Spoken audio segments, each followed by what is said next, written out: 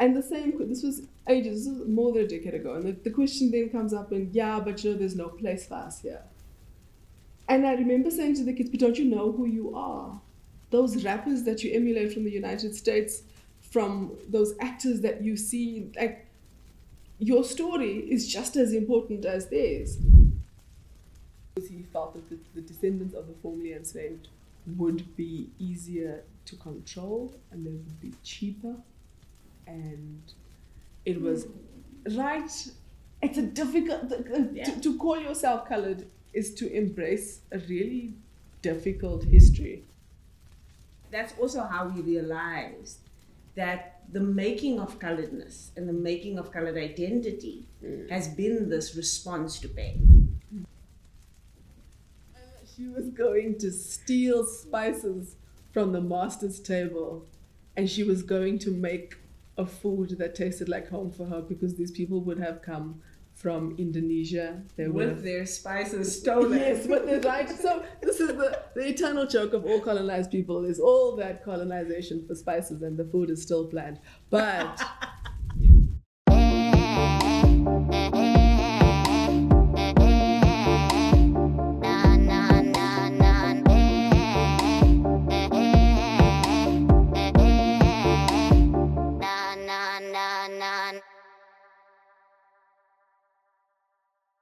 Spread the fire. Um, so my name's Tessa Dooms. I am not Caesar Welsh and Pofu. Um, and um, I'm doing a takeover um, of SMWX. And we're doing a really special thing today. Um, I have brought with me to my takeover um, Lynsey Chutel um, because we have recently written a book, um, a book called Colored How Classification Became Culture. And so um, this is the first time I'm doing a takeover and hope to do many, many more. Um, but it's a special takeover because it's one where um, I want to introduce to you a conversation that we're hoping to open up to the country. It's Heritage Month, um, you know, in South Africa, and we're always talking about culture. We're always talking about identity, um, and you know, the the national identity in these kinds of months. But um, for us, the the national identity is not just this uh, conglomerate. It's not just this one big um, blob.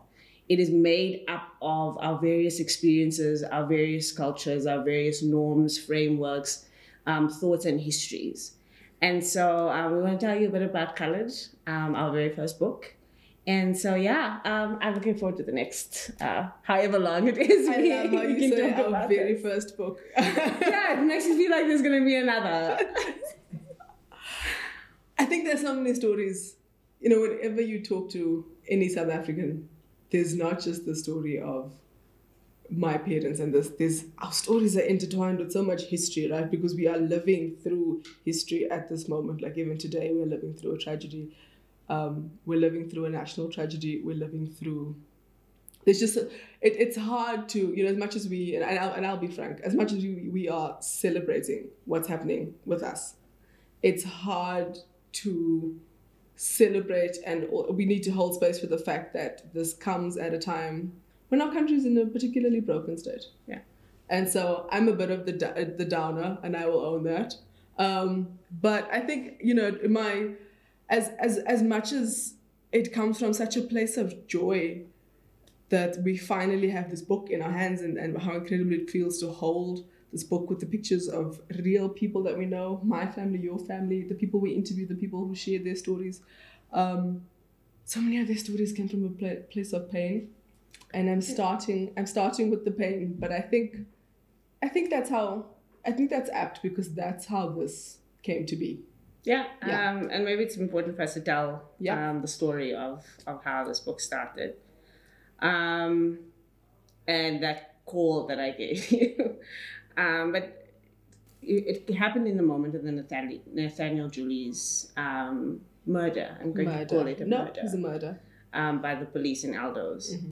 And I, I don't know the full extent of your experience of that, but um, Nathaniel Julies' dying created a very weird thing for me as somebody who operates Mhm. in terms of explaining politics in the Yeah. media space.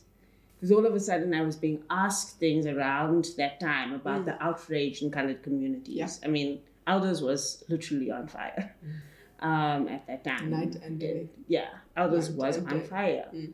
and the the emotions were raw um, in Eldos across communities. Mm-hmm. And at the same time, Black Lives Matter was happening because of George Floyd. Mhm. And so it was a lot of emotion going on, people asking me to explain why colored people were angry Mhm. was really difficult. Mm. That is really, I, I found it to be one of the most difficult things because I was like, isn't it obvious? Mm. That, that's all I felt like saying, isn't it obvious? Like the- Mm. the question, why are colored people angry? Um, just, I was just like, isn't it obvious? Mm. Um, You're talking about a community Mm-hmm. that feels displaced, marginalized on a normal day. Yeah. Now experiencing a major trauma. Mhm. I just didn't I didn't understand why people were confused. Until the question about hashtag colored lives matter happened. Mhm. And I'm sure you had a, a similar experience and that's that. that's when it became real for me. So with Nathaniel Julies, I was assigned the story as a journalist, as all journalists, right? We all descended upon the area. I, I, I was away, but I came a little bit later, so I had an advantage in that I was away from the circus and I could sit down and I could talk to the family. And so I go and I write up the story that, on the face of it, because I write for an international paper, seems like another example of police killing and what this means in poor communities, poor black communities around the world, and the commonality of policing. But then this hashtag, because at the time, you know, you've got Black Lives Matter all over the world. But in South Africa, it takes on a different form that people didn't know what to do with. Yeah. And so they were. Uh, so I have an editor saying, "So Lynsey, the hashtag, so, yeah." So yeah, the, so the hashtag is Colored Lives Matter because they had, you know, it was stuck all over. Yeah. Because, and I think it's important to remember his death, and I know that people are working on it, but the manner in which he was killed was that people from the flats, this is the council houses and the flats in Old Eldos, and they could see each on Main Road. This is Main Road, it's the main artery of Eldos, and they could see from their windows that he was killed and he was dragged and thrown into the van, or he was shot and dragged into the van. And so people were living with this trauma, and what they had done was they started sticking up and writing and spraying Colored Lives Matter on that spot where he died. That's what that, and that had to be in the story because that's how they were memorializing this boy. And it, it's it's also worth remembering this is a boy who was nonverbal, and there was a boy named Lockies, and he danced. And you must always remember the people who lose their lives in these moments, these big historic moments. And so, and my editor's like, okay, so so they're not using the Black Lives Matter hashtag. I said, no, not quite. And now I have to explain it, and I have to explain it to Americans for whom the word colored is not to be celebrated, for whom the word colored is a point of shame. It is the sign that you saw on bathrooms in this Jim Crow South that said colored drinking holes or, you know, coloreds only. And so they have been trying to get away from it. And here's this group in South Africa where we have these parallel histories and there's a group holding onto this name and they're trying to get away from it. And so then I found myself explaining. Yeah. And then for me, the question was, where yours was, why are colored people so angry? The question I was getting was, who are these people? And why on earth are they still calling themselves this name? Yeah. And so, and so that's how we. Yeah, and I mean that that that was the the the gist of it. Um, so I had Yeah. done a seven hundred two interview Mhm. um, late one night um, about color identity. You know, off, off the back of Yeah. all that was happening in the country. Um, I was also teaching a course on religion actually at the time. Yes, I remember. And part of the course that I Mm. taught was about um, the Cape Colony and how religion played a role in the Cape Colony. And so Mm-hmm. the story of Krotoa and the way Van Riebeeck's wife um, used missionary tactics basically to get Krotoa as, as Mm-hmm. her servant, slave, eh, to be more part of their family and their side of civilization it. A civilization process. that's it. Um, and so after having that conversation I think, with, with Aubrey and 702, the following morning, Kanyezi called me out of the blue and I had never met her, didn't know who she was, from Jonathan Ball, said, Hey, don't you, I heard you last night, don't you want to write a book about coloredness? And I said, Give me 10 minutes. I literally was, I was in bed. I said, give me 10 minutes. I called you, had no idea where you were, um, and said, don't you want to write a book? And you went, yeah. and then we were writing a book. Um, yeah, and I don't think, I mean, I always say to people, I don't think I would ever have had the courage to ask to write a book. Like, so, I mean, I'm the non-writer between you and I. Well, I, I disagree. But what I would say is that I don't think I would have said yes had anyone else asked me. And because because of your force of personality, um, you know, because at the time, because I hadn't gotten to Eldos yet, I was still in the Eastern Cape on a, on a break and in between jobs. And and you called and I was like, you know, and you know when Tessa calls you with that for like we should we should do this thing. we are going to do this thing, guys. We are going to do this thing. We're going to we're and, I- and and so because I know you as a, a youth organizer and as a friend, you know every day, and I'll be you know because we know each other, so it's from not just from the fact that we Yeah. were both volunteers. Well, I was volunteering. You're working with Youth Lab and. But also because you know you can throw together a good Sunday lunch. I'm like, yeah, what was it like a Saturday pool party? And I'm like, well, you know, this is gonna be fun. I will ask you though, would you have given the work that you now know what ne- that goes into a book, would you do it again? yes. Good. I'm so glad to hear yes. that. This has given me the courage to write. Yeah. Um, It gave me the courage to write. Even, um, you know, this, the, Yeah. the work that I do um, in a weekly column. Yeah. The courage to write came from this. And I did it with you so I could get courage. Oh. So that I could feel like I have a writer Mm. in my life in this process. And so, Hmm. um, yeah, yeah, I've always been afraid of writing. So I have been um, afraid of voice, and I always saying to like, you've got such a clear voice, and had it not been for your very clear voice on the other side of the line and that clarity of purpose, we must write this because it's important. Yeah. I don't think I would have. So I'm Yeah. grateful. Thank you. So And I, I'm also grateful that we we decided to write the book the way we did. Yeah. Right. Um, so for me, it was actually a few years before before this. Mm. Um, two two other friends, um, Danny and, and Kathleen and I, Mhm. had con- uh, thought of it, had conceived of Mm. you know writing a book about colored identity. Mm. Um, and even at that point, the only thing I could think of was Mm. telling stories. It was Mm. I've, I've never had an interest in writing like an academic piece of work about it. And so when this opportunity, it was like a real thing. Um, I knew I wanted to tell stories. Mm. Yeah. I knew that that was the only way we were going to do this. Um, and I, I, I remember as we were conceptualizing what Yeah. the stories would be, Mm-hmm. what was also clear to me was that it couldn't only be our stories. Yeah. So we were almost too similar in some senses for it only to be our stories. Yeah, yeah, I think so. And I think how we landed on the stories in particular was apart from the fact that we didn't want to write an academic piece and we knew the power of story was also that we wanted it to be accessible. We wanted people who were not in academia or people who were not in the elite circles and on Twitter to find themselves and to see themselves in this book and to find their stories and to find their familiarity and so and so we did and so we Yeah. found we found people who told various we, we told the story through various Yeah. people so yeah And and the other thing about who the book is for.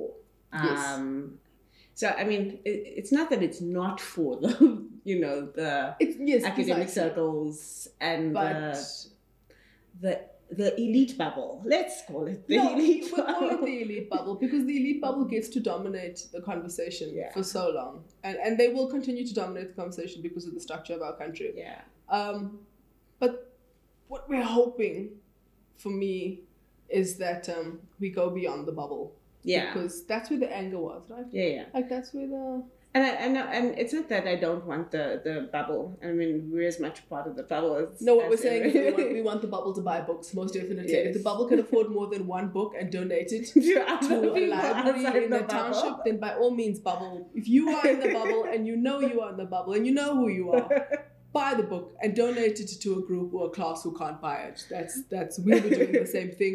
We invite you to do the same thing because Yeah. everybody deserves a book. But I think So I'll that just say it. the important thing for me was that Yeah. I we were now going to write a book about stories of colored people. Yeah. but I also wanted to write the book for colored people. Yes. That was one of the hills on which I was willing to die. Yeah. Is that I don't know that I've read a book about colored people that was directed at colored people to read, right? So even when it's colored people writing, we often are writing for others And so we're Right. explaining ourselves. explaining ourselves or explaining history Mhm. or you know and i want this book and and what i my greatest imagination Mhm. is that colored young people particularly Mm. read this and feel like number one it's written in in in a way that is for them Yeah. right is interesting enough is fun enough I hope so. I, I think we've laughed a bit yeah. um, through through the book, but it's fun enough and it's Yeah. interesting enough um, that they want to Yeah. engage with and they want to, but that they see themselves. Yeah. That they read, they're reading it and they read about themselves. You Mhm. know. Um, so in my interviews, I made sure that I selected young people Mhm. to interview Mm. um, because I wanted that particular that Mm. that sense of oh there's me i mean um, there's a picture of um, tracy's tracy lee miller's daughter Yes. lila and I'm, I'm sad it's not in color because i know that the picture of her in that is Yeah. with her in pink braids Which, yeah. so I, I, I constantly think it would be so great if it was in color Yeah. but i just want young colored people to read a book about themselves and Hmm. feel affirmed and feel seen in a world where even their own community is telling them no one can see you. Yeah. And, and I really just want colored people in general, but colored young people in particular, to feel seen and That's so recognized and heard. Because I think I went in the opposite direction. Yes, you did. I did, and it was not deliberate. I, for me, it was. I remember talking to a group of kids in Eldos years ago, and we, it was a career day. You know, and they get you, they, they get you in, and they're like, "Tell us about your career and tell us what you do." And so, I, you know, I'm doing the usual thing. And the same. This was ages. This was more than a decade ago, and the, the question then comes up, and yeah, but you know, there's no place for us here. And I remember saying to the kids, "But don't you know who you are?" those rappers that you emulate from the United States, from those actors that you see, like your story is just as important as theirs. And for me, and I think that's why I leaned heavily on history, because for me, the question that we often ask is apart from the fact that we are, when, when, when you do read, and, and, and much as, and there have been academic pieces written about uh, colored experiences, but they're written, as you said, to, you know, behold the natives On that note, let's not forget um, to buy the book, Colored How Classification Became Culture. Um, it will be in all major bookstores across the country from the 8th of September 2023. Um, you can also find it on Amazon and other um, online bookstores, especially people who are international. Um, but let's get the book colored, let's read the book colored, and not only talk about the book colored. So it's so you know I. It's interesting to hear how deliberate you were about talking to young people, because I know that I was leaning heavily into history, and we came from this from very different perspectives, and I suppose I leaned into it in part because of a conversation I had with young people in Eldos about a decade ago. It was a youth group, a church youth group, um, and they'd asked us, a couple of us young professionals, you know, to come and talk to young people because that's the thing that happens in Eldos over and over. Like, Yeah. please, will you come back and tell Those of us who people- made it out. Yes, those of us. At the time, I was still living in Eldos. I mean, I only left Eldos in 2018, so I held on for dear life. Um, and we, um, and so I'd gone back, and and I was talking to the youth group, the same youth group that I had grown up in. Um, I grew up between the Apostolic Faith Mission and the Anglican Church, and so I went to the youth group and talking about you know you go through the tropes. You talk about your career, about studying. It's important. Stay in school, plan your life. But then there's questions from the children, and this was back then, at a time that our country was in a far more optimistic place. And they were saying, but there's no place for us here. Like, you know, um, BE has locked us out. South Africa doesn't care about us. Look at Eldos, look at the state of Eldos. Um, and and, I, and and there was just like a sense of a lack of confidence, Mm. a heartbreaking lack of confidence. And I think that's what's so interesting about. And when you were talking about Heritage Month, also I remember how Heritage Month always brings a sense of anxiety about what are you gonna wear for Heritage Month as a colored person, Right. right? I remember when we dressed up my niece at the time for Krish, we did a combination of a puffed sleeve that looked like an Afrikaner dress, but also a Zulu skirt, but also a head wrap as a nod to her Malawian heritage. It was, Yeah.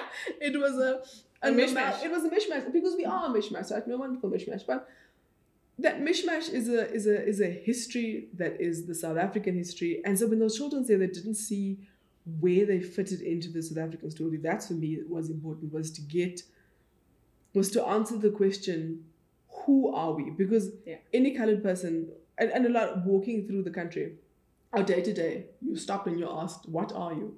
I've had someone say to me, so your father's what and your mother's what and your con and like you know you know that's sort of because that's the way South Africans move through the world is our Yeah. first point of contact is race, and so for colored people, that answer is not always as simple. Yeah.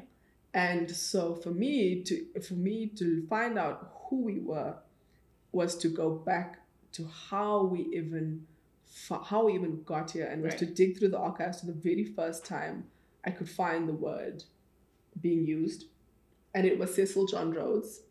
I might, and and there- might be an historian out there. So difficult. Yes. There might be an historian out there who found something earlier, and this is why we all say this is a conversation. So if you if you do know something, please do let us know. But my first, where the first encounter I found was Cecil John Rhodes, who was talking about cheap labor at the Cape, because he needed labor to go and dig the new diamond fields up in the north and dig and so, and it was a different. It was like how am I going to differentiate between the people who were the descendants of the formerly enslaved and then the so-called native South Africans, because he felt that the, the descendants of the formerly enslaved would be easier to control and they would be cheaper. And it was hmm. right.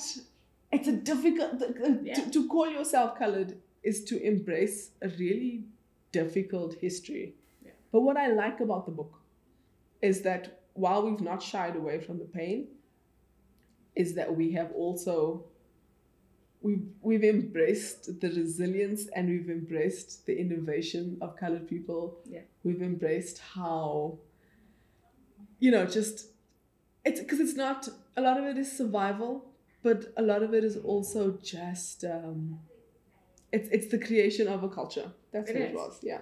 I mean, and, and I think for me, I I've made a habit now saying, you know, Hmm. that we discovered really late in this process Hmm. that one of the golden threads throughout the book was pain. Yeah.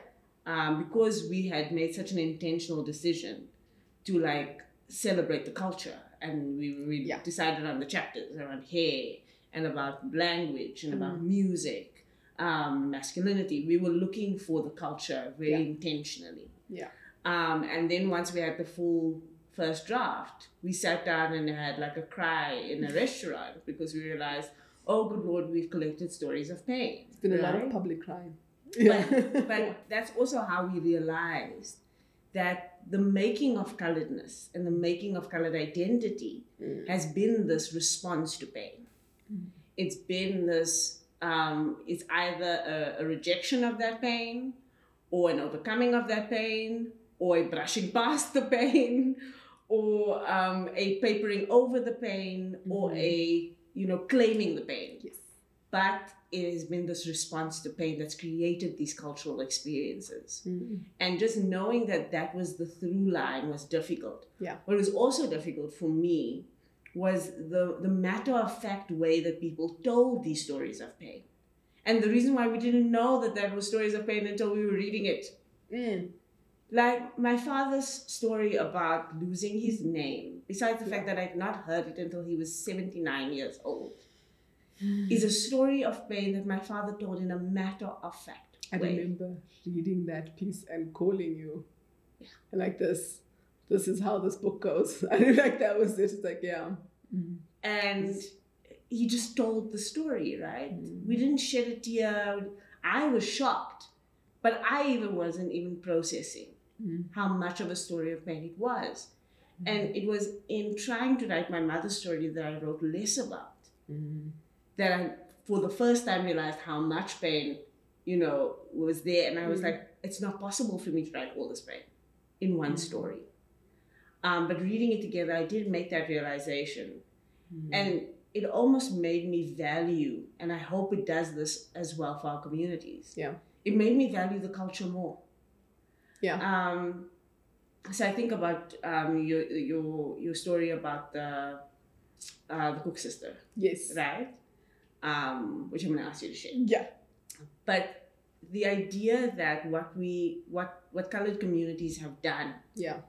is make music Mm-hmm. in order to deal with pain um, or make culture and make food and make identity and Mhm. make love and words and names. The one thing I regret about this book is not talking enough about colored names. Oh, we did not. Right? so Um, this definitely yeah, to be the- Conjoined names stuff, because there's ultimately a way that you know colored people Oh, were making it up. was when we started calling each other Ridgeland and stuff like that, right? Um, How did we miss I don't part? know. But it was the making of things in response to pain. And I, I'm so proud of, of us as colored Yeah. people for being as inventive as we've been Yeah. in our resilience to make beautiful culture out of pain. Yeah.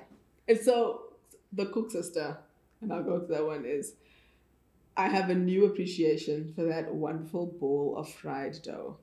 It is just it for it is now a symbol of resilience for me because of course, you know, cultures all over the world have a version of oliekoeken or oil cake. But I imagine, and, I, mm-hmm. and, and there's no archive, right? So a lot of this is down to imagination. And I remember also one of the pieces, before I just do a sidetrack, is when you say, I wonder what it must have been like that day before the ships arrived. And when people knew who they were and when their lives weren't disrupted. Because so much of the colored experience, the colored identity, is in response to that disruption. And what makes it hard for colored col- coloredness as an ethnicity compared to, let's say, for example, Zuluness or as an ethnicity or Xhosaness as an ethnicity, is that ours is so intertwined with the colonial project that became the South Africa that we have today. The colonial and the slave project. Exactly. And so you can't the colonial slave apartheid project, like you know, all of it, all of these these sort of degrees and and and uh, these degrees of oppression and these expressions of oppression that were leveled against us. And so it's hard, it's it's difficult to, to sit with an identity that was created out of that. But I in writing this, I decided that our, I, our identity was created against that, and it was created in opposition to it. So, and this is where the koeksister comes in. So the idea is that it came to the, the Cape with the Dutch, and it was served cold, and it was an oliekoeken, and then I imagine that at some some the archive gets lost, but at some point, this little warm brown bola starts showing up and it is spicy, it is served hot, it is rolled in desiccated coconut. It has nutmeg and cinnamon, and depending on whose recipe, sometimes you put in mashed potatoes. Some people will dry nut. My mother used to dry um, for a while dry naartjie peels because if you grate naartjie peels into a koeksister, that just gives it another dimension. And I think of that first enslaved woman who worked in the house of a Dutch settler, and decided that she was done with this bland thing and that she was going to steal spices from the master's table and she was going to make a food that tasted like home for her because these people would have come from Indonesia. They With have their spices stolen. Yes, but they're right. So this is the, the eternal joke of all colonized people is all that colonization for spices and the food is still planned. But you know That's why. all this like, you know, just like decades, you know, spice routes, but here we are and we can barely get salt. Um, but so the point is they come from Indonesia, they come from I they come from Madagascar, they come from islands around, and they but they also come from Mozambique and they come from Angola and they come from what was the Gold Coast because the history of slavery in South Africa sometimes I think um, it it what's the it prioritizes uh, the Malay expression and what we do then is that we forget people like Peter Clark whose ancestry was black but enslaved and we forget black women like um, I think her name was uh, Maria Dalgoa, who was a Mozambican woman who came and tried to escape slavery. I mean, heck, we forget about everybody in Durban in case we forget about everybody, right? And so I'm hoping we we so I'm hoping that we we remember those people, but also we remember that those stories of resilience of this woman, this anonymous woman who invented the koeksister, who 400 years later would become a symbol of a people who were trying to make a life out of captivity and out of a place of pain and a reclamation, which is a big theme for you. And I think particularly it's why I love the Krotoa chapter so much, was, and we, we debated about whether, do we call ourselves children of Krotoa? Do we, yeah. where does she, where does she sit for you now? Yeah. I mean, I think um, I come away from the book still not calling my child myself a child of Krotoa mm. because it feels like an infringement on people who are Khoi and yeah. right? It also feels like, and I, I, speak about the ways in which white women um, mm. have also tried, and like kind of white Afrikanerness has also tried to claim Krotoa you know, as part of lineage and the, the, like that weird discovery of that link between yeah. Dutch women and Krotoa and like that reclamation stuff that's been yeah. happening. Wait, tell us uh, about the link. Tell so, folks, yeah, about so, that, that weird reclamation and poor Krotoa. Tell, tell us yeah. about her life, people who don't know about her. So, um, is um, a Dutch, uh, uh, a Khoi girl mm. who becomes the first Dutch slave in um, Jan van Riebeeck's home. Mm. And his wife um, basically tries to civilize her, as we said earlier, um, through you know getting her to be an interpreter, but also mm-hmm. religion, and she becomes kind of trapped between two worlds: um, the Dutch colony mm-hmm. world, and then her her people. Yeah, and you know then marries a Danish man who's part of the colony, and becomes kind of the first, I, I, imagine the first mixed race marriage, like the first profiled mixed, mixed race marriage. the first legal mixed race because it was yeah, it was legal, right? Yeah, right. It was a lot um, of sexual but assault. then ends up yeah. being shunned by both white people and her own people. Yeah. For that choice. Yeah. Right. So she she's not legitimate enough mm. to be part of whiteness. Yeah. In its fullness in the colony. Mm-hmm. Um, but her people feel betrayed by her proximity to whiteness. Mm. And that's kind of the most colored thing ever that we still live with in mm-hmm. this moment. Mm-hmm. And of course, then the question about who her children are. And so when her husband dies, mm-hmm. the the ways in which she becomes isolated and judged and all of that and dies alone on Robben Island um, is again another story of just how how messy mm. you know, life has been made for coloredness. Yeah. But the the the reclamation of Krotoa mm. for me is a sacrosanct space for San and for San and Khoi people particularly, mm. just because their erasure has been much harsher mm. than I think anybody else's erasure, right? So for me, as a descendant of Botswana people and a German ancestor of the war um, I don't want to claim Krotoa, mm-hmm. but I do want to acknowledge Krotoa as part of me yeah. in terms of the colored experience, yeah. right? Um, but I wrote um, Reclaiming Krotoa um, and the chapter about Krotoa really in homage to the communities I think have been most marginalized mm-hmm. in the making of coloredness. Because while for many of us, who come from uh, the mixed race, you know, making of coloredness. Yeah. They were people who were fully a people in every way that it mattered. And even their personhood was taken in the making of color. Their language was taken in the making of coloredness. Yeah. And so I, I, I think of myself kind of as a cousin of the children of Krotoa. Mm. Um, and I, I, I can symbolically see that but mm-hmm. I do want to give space for that yeah. to exist fully, you know, by itself. But the idea that then, you know, in the reclaiming of Krotoa, people can go, well, because Krotoa was accepted by the colony. And because there's this kind of, you know, Yeah. Krotoa represents the mixing, um, and Krotoa's children were Dutch. Oh. Therefore, Krotoa then gives legitimacy to Dutch people having this. I was like, uh, No. I'm like, so the leaps that I found in in kind of you know um, yeah. discussions about reclaiming, reclaiming Krotoa from the perspective of Afrikaans whiteness have been very wild. Yeah. Um, but I'll, I'll leave people to find the chapter and figure out what to make of it. Um, but I do want to, as we kind of land the plane, because we, we are talking about reclamation. Yeah. Maybe just to talk about the big arguments we make. I mean, people will go and read the stories of music and culture and food and all of that. Language. But um, I mean, maybe we can end up with just with the big arguments, Yeah. right? So for the first big argument for me um, is the idea that coloredness is um, a, a created cultural identity, Yeah. right?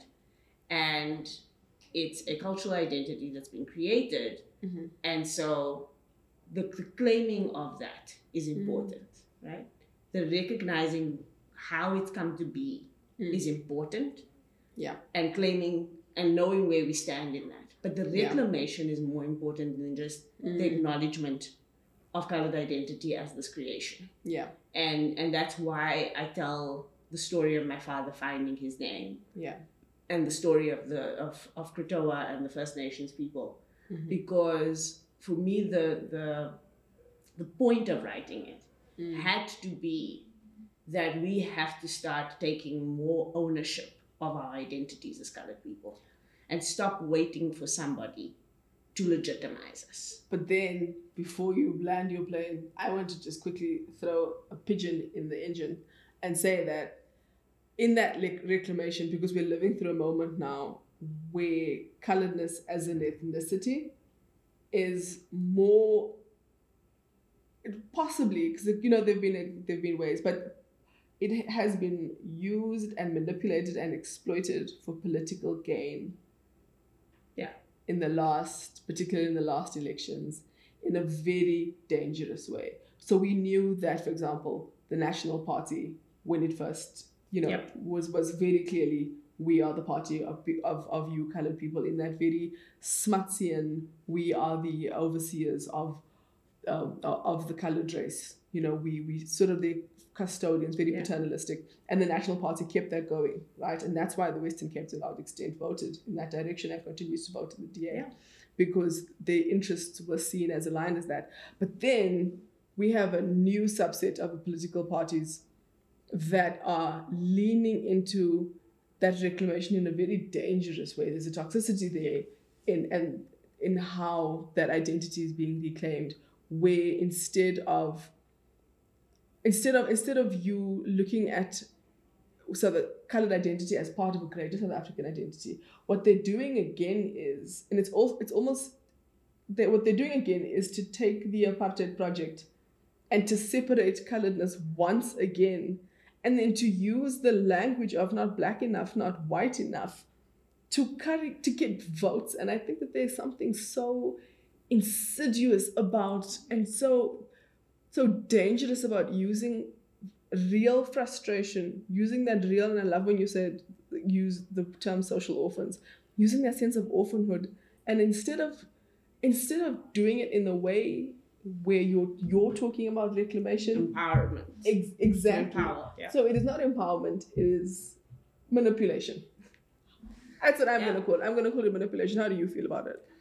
Yeah, I mean, I, I'm again, I'm, I'm glad you raised it because that's another part of the cultural experience that we raise is the politics. Yes. Right? And I can't wait to have those debates. Those are going to be some of the most fiery debates we're going to have I am gonna in wear conversation. a vest. but, but maybe this is also the, the a good way to land what I think is the most important argument we make. I'll see if I And let you maybe land. the most controversial I'll see if I let you land. Let's see. is that you and I both identify as Yeah. both black and colored. Yeah. So um, we say we are politically black and Mhm. culturally colored. Yeah. And that part of what we're saying in this book Mhm. is that coloredness is not a racial identity. Mhm. It is a cultural identity. It is an ethnicity, Precisely. a, a range of ethnicities at that. Yeah. But it is not a racial identity Yeah. right? And that's part of how I read the question about what the political Mhm. moment and the the almost weaponization of coloredness in the political moment. Yeah. Is that the political project Mm. of uh, of reclamation for all oppressed people, Yeah. black people of the world, is one that should cause solidarity, not division, right? And so Mm-hmm. the reason why I've always said, or when I came to the realization that I'm politically black, Mm. it was on the back of understanding blackness as a identity that was created by whiteness Mm. to have someone to oppress. Yeah. So you identified as different on the basis of Mhm. your phenotype, and now you are black, and black means worthy of oppression, Yes. not worthy of full humanness. Defines your entire And destiny. it becomes a, a, a legitimization Yeah. of oppression throughout history. Mhm. And so all of us who share that oppression Yeah. are black. But if you go to Nigeria, people don't Mm-hmm. consider it different to be Nigerian or Igbo Yeah. and black Yeah. and Nigerian. Those Mhm. things are not in competition with each other. Whereas. Whereas with us, Mhm. especially for the colored experience, Yeah. being black and being colored has been set Yeah. up as opposition to each other because apartheid said so. Yeah. Because it Right. worked for the apartheid. government. Because if I'm Zulu in South Africa, I can be Zulu and black without contradiction. Right? No one questions. No one questions it. Yeah. And so for me, that coloredness is how I show up. Yeah. It is the food I eat, it's the language I use, Mm. it's the norms I understand, it's the religion I subscribe to, it's the way that I cultivate Mm-hmm. Yeah. identity. Blackness is about my understanding about the political space I hold in the world. Yeah. And those two things are not in con- competition with each other. Mm. And I hope that that comes through clearly for people in that, and that it opens up that conversation. Yeah. Um, and it's not a view that is shared by all colored people, for sure. It's going to be one of the hot potatoes of the book, Mhm. um, for sure. But it's something that I, I believe is part of the political project of this book, Yeah. is for us to say, let's talk about our blackness.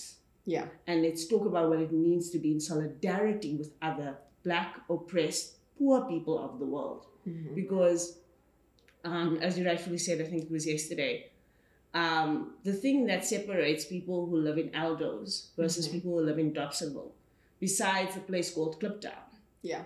is a road, really. Because That's the circumstances are the same. But Mhm. apartheid wanted us to believe that the circumstances were different Right. even though people who live in Eldos probably went to a registration office and called themselves Olifants when they were in Globus Yep. that could easily have been in Dobsonville. Mm-hmm. And it's the realization of, our, of the sameness Mm. of our political circumstances Yeah. that I hope we actually are able to have a, a real conversation about. Um, but yeah, that, that's my great takeaway. So, what's your Mhm. last? That was going to be my takeaway. That is exactly it. It was when I sat down and I wrote through the politics chapter. Because I had, you know, I was lucky in that I grew up in a family where the Black consciousness movement, A, we had a very strong Zulu matriarch, so we never doubted who we were. And then also, the Black consciousness movement was often spoken about, and I was lucky in that I was a child in a house full of conscientized students. So there was never a doubt. But then I moved into a world and all of a sudden there was a doubt. And when I look back at it now, perhaps the perhaps the the oversight of the Black consciousness movement, particularly for colored people who joined it, was that they, there was no space when you're fighting a system to think about how individual identities fit into that. And so, what I'm hoping is because we are in the, at this precipice in South Africa where we are rethinking what it means to be South African. And it's not just colored people because you see an ethnic politics showing up across Yeah. in every single party. There's, there's an ethnic bent showing up and a dangerous and a scary ethnic bent. And so, what I'm hoping is that maybe there's an evolution of a black consciousness that involves these identities that make up what it means to be a black South African. And to be colored is to be a black South African. And I am hoping that people will embrace that.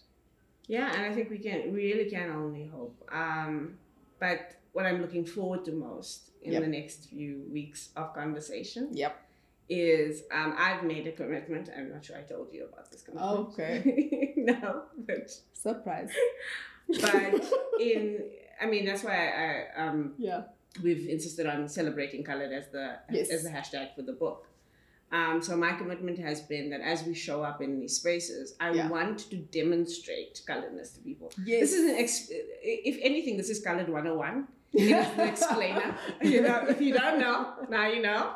And every opportunity we get to show the food, to show the music, to show the culture, I want to use um, as much of our time um, engaging with people to Yeah, do that. exactly. Um, just because it's also been the thing that's raised us in joy Yes. um, amidst all of the messy. Mhm. Um, coloredness is colorful yes. because it's about joy as well. Yeah, it is. So it's yeah. just yeah, it's just um I was gonna say before you just uh, I've lost my train of thought now, but just the the point of joy around it.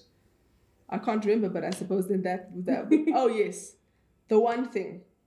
I think the big, the, as I said, when we we're talking about coloredness 101, and it comes back to that question of who are you and what are you, and the not black enough, not white enough, is that I hope that the colored people who read this book will finally know that we are enough as we are. Yeah. That's all. Cool. Uh, Okay, this was fun. Yeah. Thank you, Tessa. That was SMWX, the uh, the takeover, um, the colored version, and um, I'm looking forward to having many more conversations on this platform.